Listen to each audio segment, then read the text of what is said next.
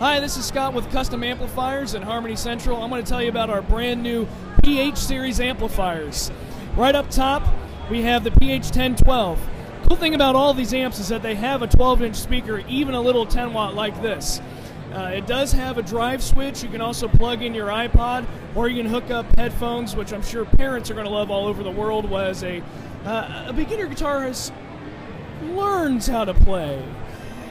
Then right below it, we have our 12 watt preamp tube, PH Tube 12. Uh, this features a 12AX7, so it's going to warm up the tone just a little bit. Something you can actually record with, or you can use it for practice or anything else. And right below that, we have our 20 watt PH2012R. This actually features some reverb as well as the other uh, specs, except for the preamp. It doesn't have that. It's a 20 watt version, and it still sounds pretty darn good.